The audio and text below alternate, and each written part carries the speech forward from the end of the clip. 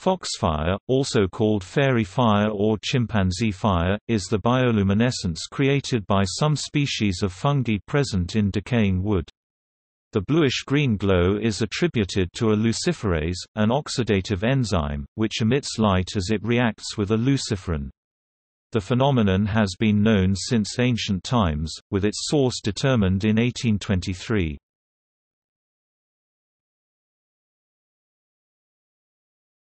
Topic Description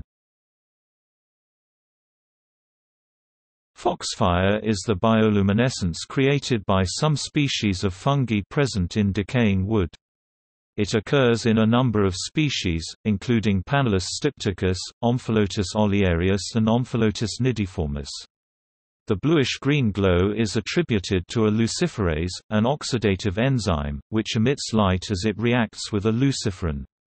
Some believe that the light attracts insects to spread spores, or acts as a warning to hungry animals, like the bright colors exhibited by some poisonous or unpalatable animal species.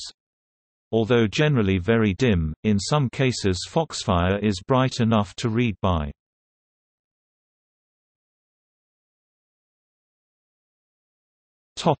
History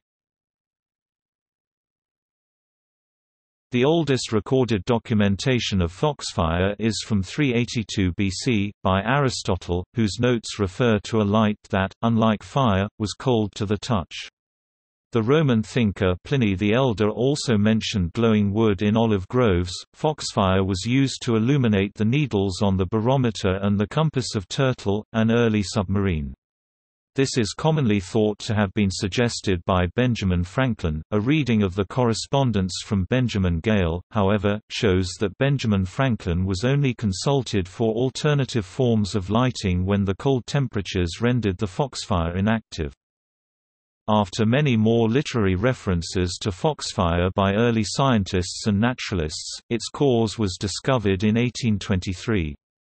The glow emitted from wooden support beams in mines was examined, and it was found that the luminescence came from fungal growth. The fox in foxfire may derive from the Old French word fols, meaning false, rather than from the name of the animal.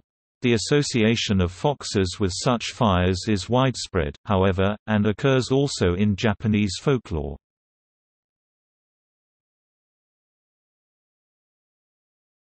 Topic. See also. List of bioluminescent fungi. Will-o'-the-wisp Aurora borealis, called revontulet, literally, foxfires, in the Finnish language.